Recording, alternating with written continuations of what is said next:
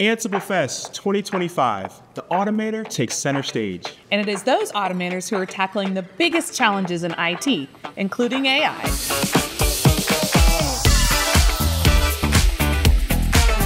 Welcome, everyone. I'm David Walker, and here we're going to recap AnsibleFest here at Red Hat Summit 2025. I'm joined here with Kaete Piccirilli, Director of Product Marketing for Ansible Automation. Kaete, welcome.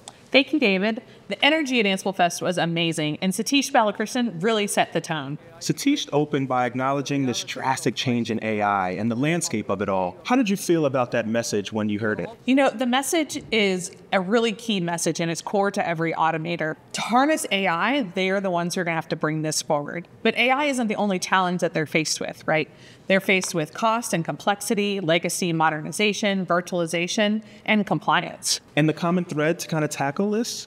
Automation.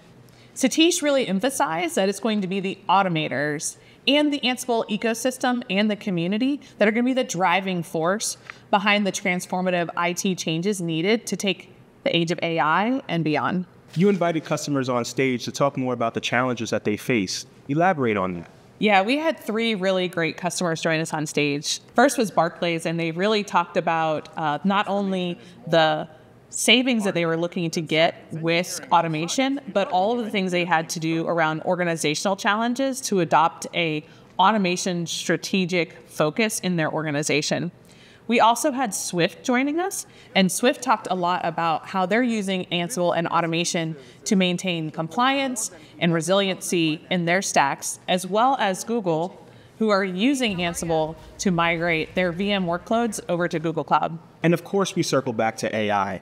And Red Hat's perspective is that, you know, automation is essential for our foundation and the success that we can have within AI adoption within IT operations. And this isn't new for us. We've been saying that sustained AI adoption hinges on automating the underlying processes, enabling technology teams in new ways, and connecting the tools that you already have in your stack. Sathish also confirmed three ways that IT operations teams using Ansible and the Red Hat AI ecosystem can help their organizations achieve AI's potential.